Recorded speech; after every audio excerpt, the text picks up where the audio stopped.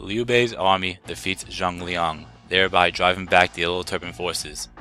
Thanks to this victory, Liu Bei's name spreads throughout the imperial forces, and he is hailed as a hero of the people. In response, the Yellow Turban forces take up a defensive position within Zhang Bao's fortress in hopes of repelling any further attacks by the imperial army. Meanwhile, the leader of the Yellow Turbans, Zhang Jiao, continues to gather his forces for the final battle, which is the Yellow Turban Rebellion. But in the last part, well, in the first part, we took on the Yellow Turban Menace.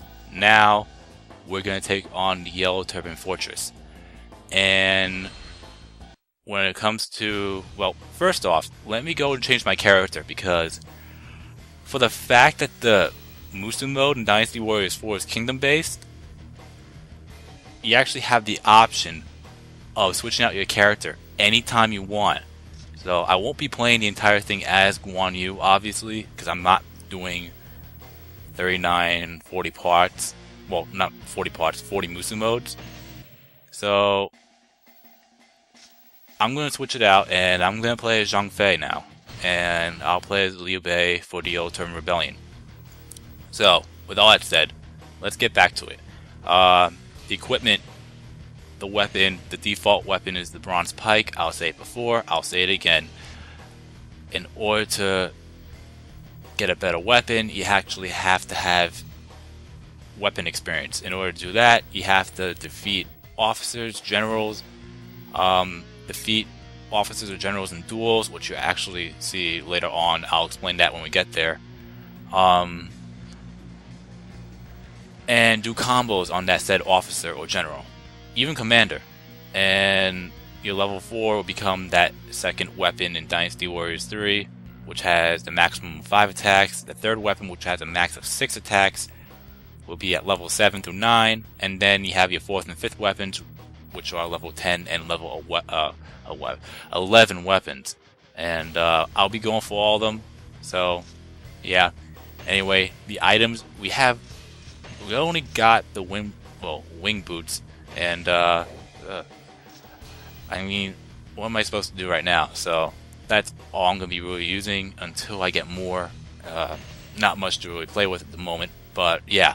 Anyway, bodyguards, same thing. The objective. We have to defeat Zhang Bao to win. If I die, if the commander Zhu Jun dies, or if we run out of time, which obviously that will never happen unless something funny happens, but I highly doubt it, then we lose.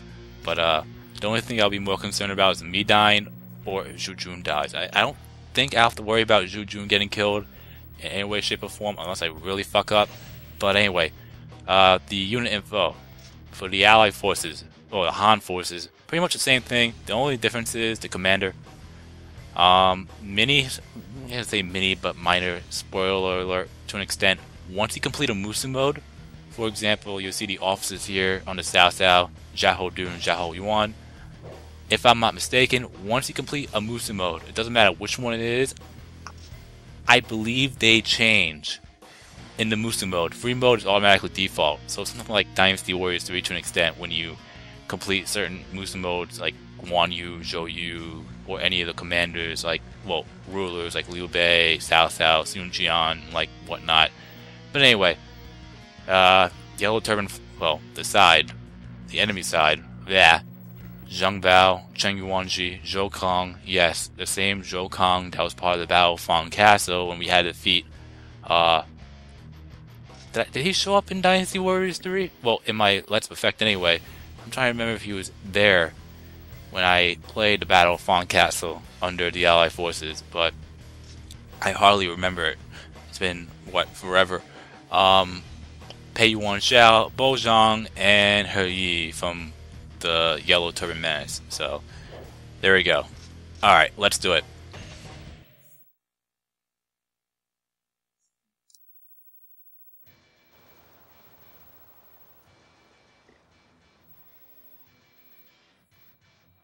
Cao Cao will advance from the east and Sun Jian from the west.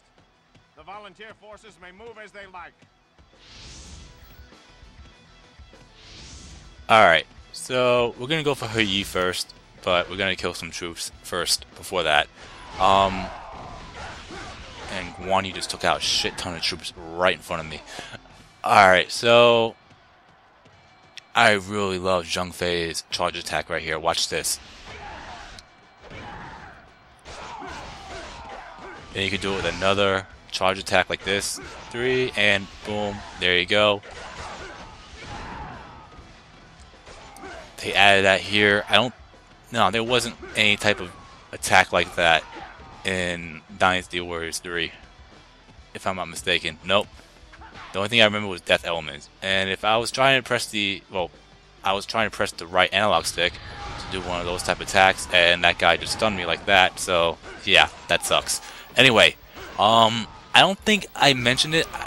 Something tells me I did, but I'll say it again one more time, because I don't... With the whole control thing, like, the basic controls, there's one thing I don't think I mentioned. If I did, then sorry for repeating it, but I'll say it again anyway. Um, you see the little symbol in the bottom left by Zhang Fei's face icon. That will pretty much give, well, if you press the select button, you could change your bodyguard's uh, command. Right now, that's a shield, so they'll be defending. If you press it again, you see the icon of a sword. That's pretty much their attack.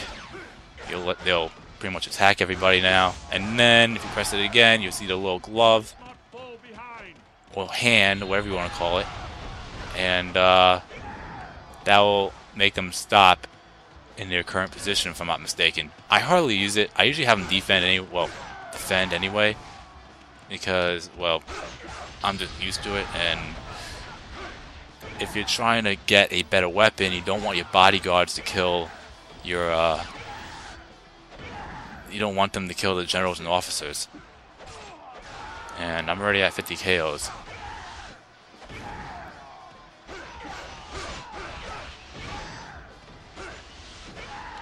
There we go. And I completely missed the... I? Yes, I did. The Musou Wine is right here, by the way.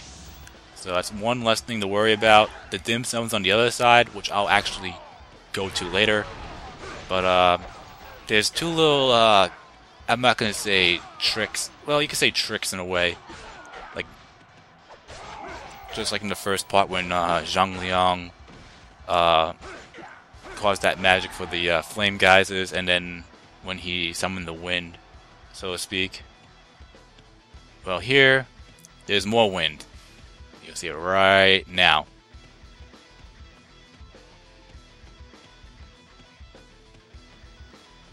Um, now? I'm surprised it hasn't shown up yet. Okay. What the hell?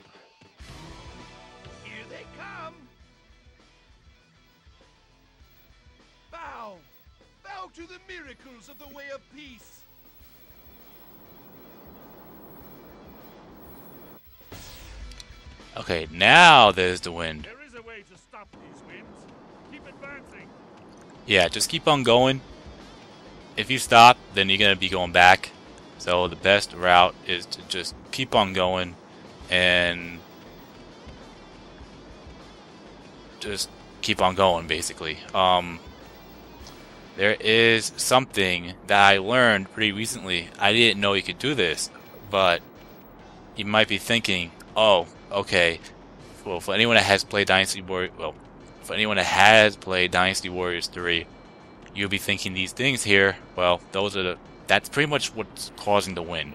And you might be thinking, okay, well, the only way to get past it is getting past it. And that's it. Well, you can actually destroy those things, and that's the point. I did not know that. I actually found out pretty recently when I was doing my uh, attempt of doing this game the first time. And uh, I felt like such a dumbass the entire time playing. Because I have, every time I play this game in the past, I always went past it. And I didn't destroy these things because I didn't know you could destroy these things. But now you can. Well, you could. So that helps out a lot. And I don't care if I'm getting hit right now because this will help tremendously.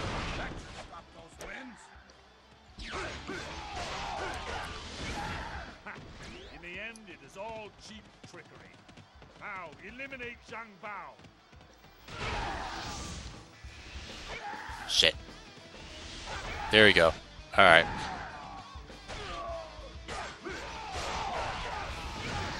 So that's the first thing. The second thing will be on the other side. But uh, we will defeat Pei Yuan Shao before anything else. And like I said before, the archers aren't as bad as Dynasty Warriors 3. So you don't have to worry about it to an extent. They will miss a little bit more, which is good. Because I feel like every single time I played Dynasty Warriors 3, they kept on... It felt like they were always hitting me. Like, they never missed. So, let's just defeat them as fast as you can, and then move on.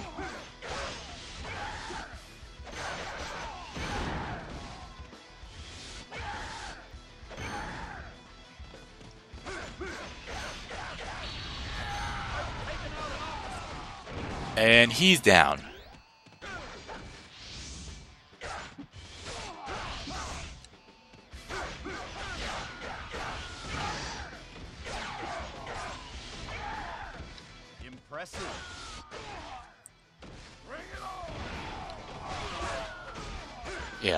Not want to waste that Musou attack, but okay.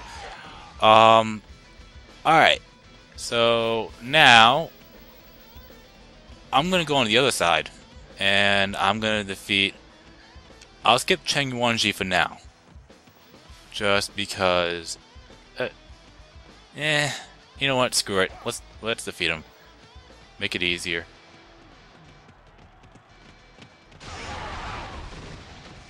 But I don't I remember playing in the past this battle and it pretty much stopped the other trick that I wanted to show. So I'm just gonna go. I'm not chanting it. I'll I'll defeat him later, even though he's really near dead.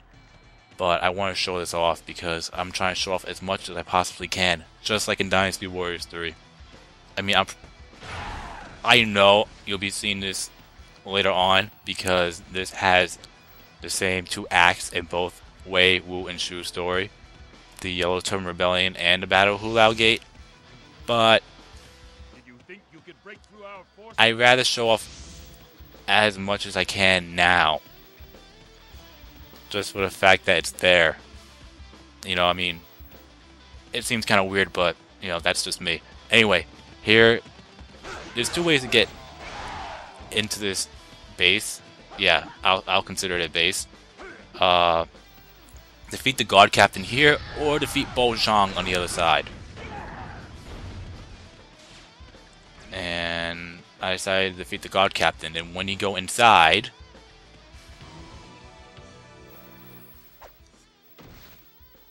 What's going on? What? Get away from me! Behind every spell, there is always some gimmick. Focus on finding the source. Okay, so, unfortunately for the fact that that happened, you pretty much are surrounded by phantom troops. You can't kill them, you can't hit them. When you try, it's you can do jack shit. So, and the worst part is, they can still attack you. So what you want to do, and you see this little... Yeah, I don't have to worry about it to an extent, but the only reason why it's like that, or he said that, is because I'm halfway dead. And, well, I don't have to worry about it to an extent. But anyway, you want to break those two... I don't even know what you want to call them. But you need to break both of them, and then the Phantom Troops would disappear. And there you go. Now that that's done with, we'll defeat Zhou Kong.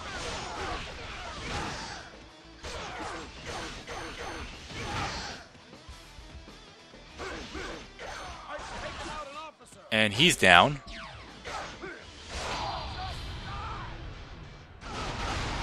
And just like in Dynasty Warriors 3, when your health is at red, you will trigger a true Musou attack. And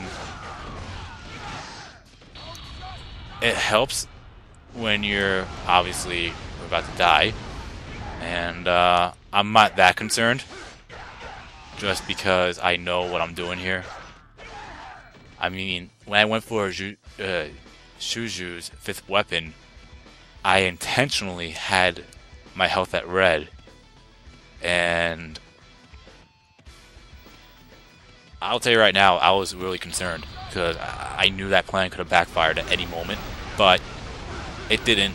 I've gotten it, and when it comes to the fourth or fifth weapons here, or you want to call it level 10, level 11 weapons, whatever you want to call it, I am concerned on me with getting those weapons because I didn't really get many fourth weapons when before doing this Let's Perfect, and I have gotten a few, but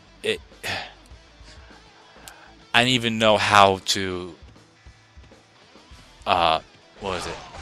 I, I didn't even know how to grind for items in this game because I actually found out how, and I'll actually show that off in a bonus video like I did in 3. But for now, you know, Musou mode, and we'll defeat Bo Zhang. And I think he is he here? Yes, he is. So just like in the Yellow Turban Menace, look out for Huang Gai when he throws those bombs because, like I said, they friendly fire. Just because he's on your side doesn't mean those bombs will not hurt you. They do. And it's a terrible feeling getting killed by one of those things. Well, he didn't really kill me. I was near dead. I was near dead. And a couple of hits could have gotten me killed, and that's exactly what happened. And that's never fun. And it's never fun seeing the commander being near dead because of one guy's bomb and, well, him getting killed for it. So, well, later on. So, you don't want that to happen. And obviously, I'm to take out as many troops as I can.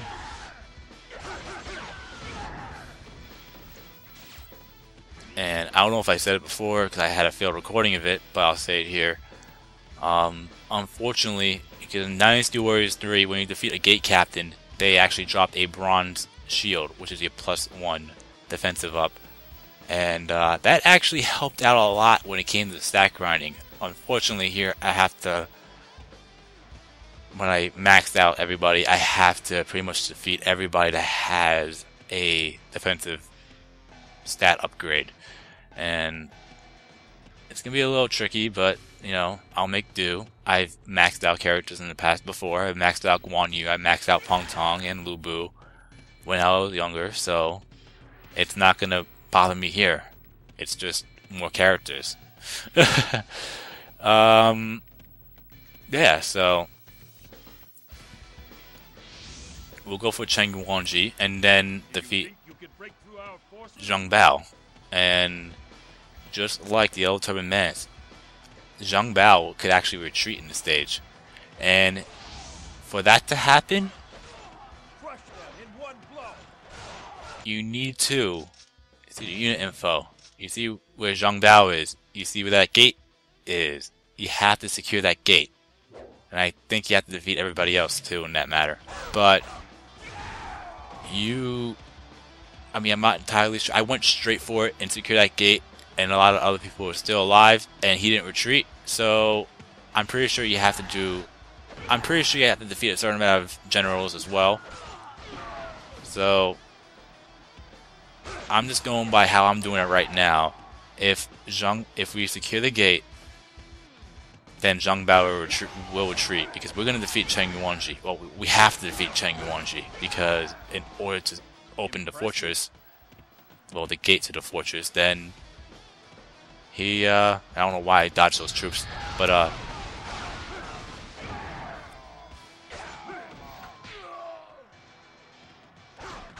yeah, defeating Cheng Yuanji will open the gates to their fortress.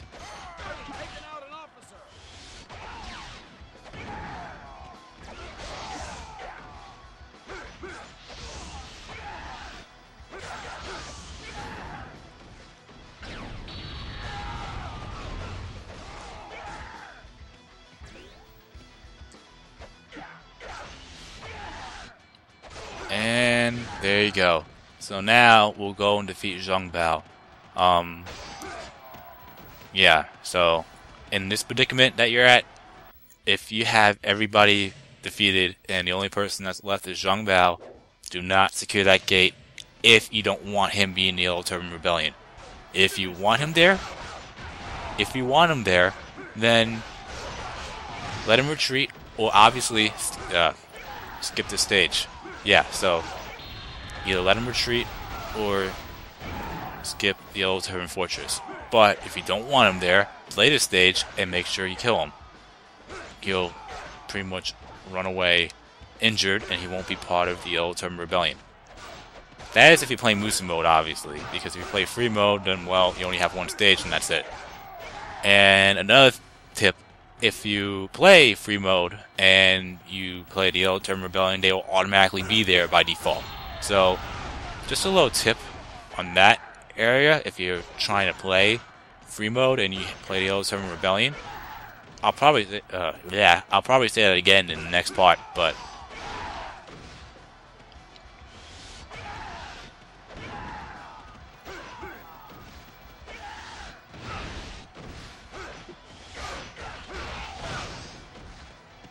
That was weird.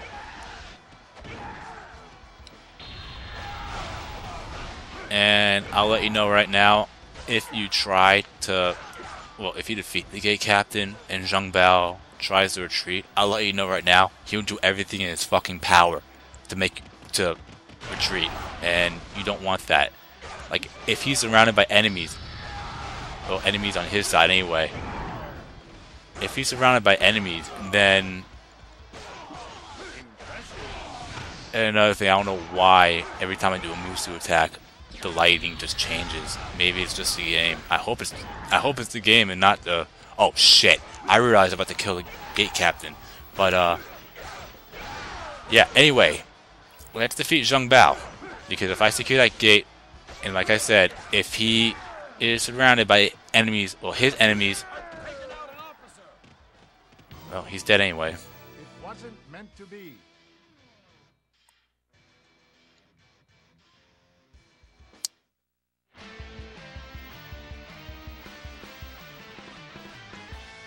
And that's a win.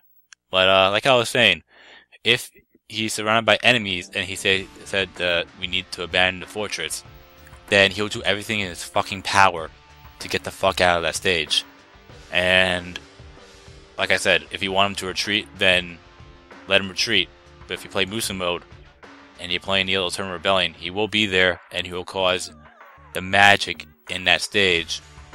Um, I, I personally believe it's the uh, uh, it's flame geysers and the uh, boulders. But if I'm not mistaken, I think Zhang Bao does the boulders and Zhang Liang does the geysers. But I could be wrong. Um, I'm still trying to remember it uh, because typically when I play uh, the Yellow Turban Rebellion, they're never there because I always defeat them. I never make them retreat. Or I never skip these stages. And I will probably be skipping these stages later on just to show that off. Plus, I need to show off a couple of other stages that hit a certain requirement. But, you know what? I'll talk about that later. For now, we got the Taurus Amulet level 3. We completed the stage in 16 minutes and 32 seconds, and we have defeated every officer, well, general, because I don't think there were any officers in that map. But we defeated every single one of them, so, yeah. Got 208 KOs, which accumulates 216 points, 2856 total points. And his ranking will be probably at, oh, yeah, 14. I was going to say 13, but no. And then the weapon experience is not going to be enough to hit the level 2. I'm not surprised because there wasn't that many officers to begin with or generals. You were the opponents, whatever it may be. So, with all that said, there you go. We'll save. And there you have it. You've been watching my gaming adventures featuring Dynasty Warriors 4. And uh, I was about to say 3 again. Holy shit. That's. Uh, I gotta get used to this. Anyway, I'll see you in the next part where I will take on the final stage of the act, the Yellow Turban Rebellion. So, peace out.